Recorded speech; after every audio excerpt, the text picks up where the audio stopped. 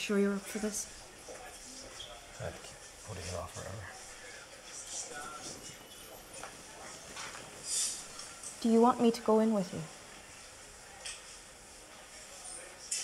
Tell it together. Yeah.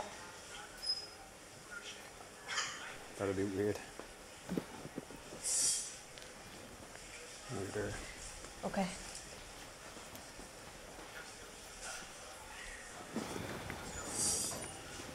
You're doing the right thing.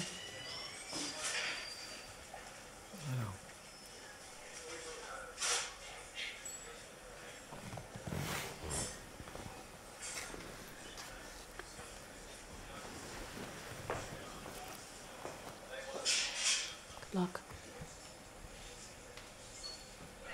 I'll be here.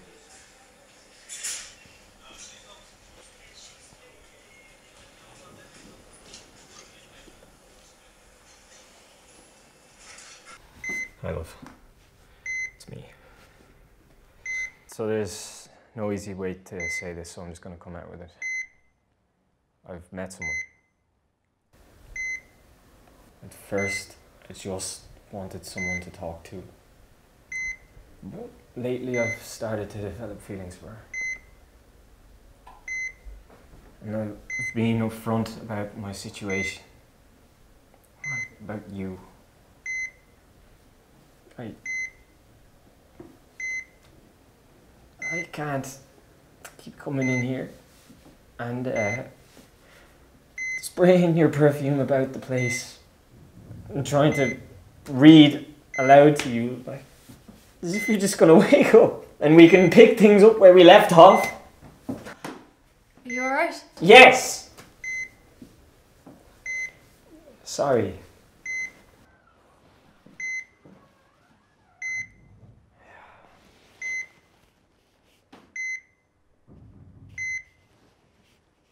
Nothing's happened yet. But we did kiss the other night, and I felt really horrible when I thought about you in here all alone that I wanted to come in and tell you. None of this changes how I feel about you. Ruth isn't asking for that, but we came here today. She's outside. I guess to ask for your blessing.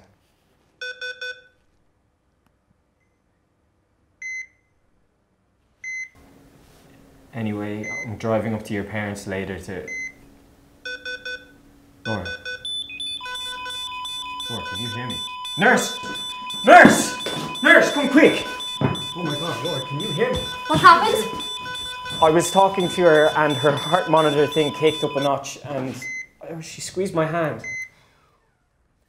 This is incredible. I've never seen this before.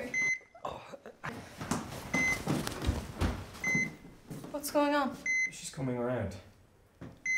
Are you sure? Uh, no, of, of course not.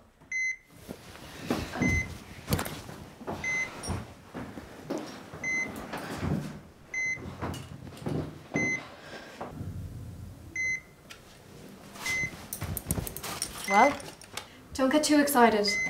Could be a false positive. The doctor's on his way. We'll know more then. Okay.